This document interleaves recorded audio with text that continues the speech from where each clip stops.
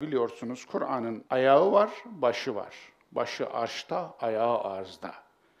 Anlamı, maksadı başını temsil eder, amacı. Lafzı ayağını temsil eder.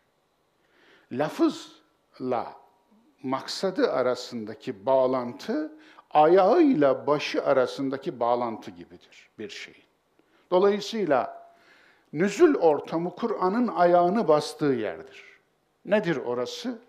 Arabistan Yarımadası'nın Hicaz bölgesi. Mekke, Medine ve civarı. Orası nüzül ortamıdır. Ayağını bastığı bir yer vardır. Onun için Kur'an sadece arştan inmez, yukarıdan inmez, yerden fışkırır demişti ya bir şairimiz. Evet, yerden fışkırır.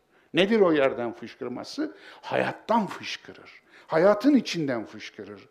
Hayat insan hayatının içinde ne kadar insanlık durumu varsa Kur'an'da da o kadar durum vardır. İnsan hayatı ne kadar tek düze, ne kadar karmaşık, ne kadar renkli ise Kur'an'da o kadar karmaşık, o kadar tek düze, o kadar renklidir.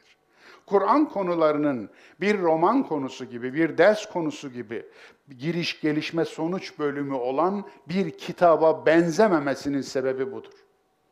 Çünkü hayat kadar sürprizlerle dolu, hayat kadar renkli, hayat kadar çeşitli. Yokuşu var, inişi var, düzü var, dönüşü var. Yani hepsi var. Onun için hayat kitabı dedim ben mealime. Bu önemli bir isimlendirmedir, bilerek bir isimlendirmedir. Özellikle seçilmiş bir isimlendirmedir.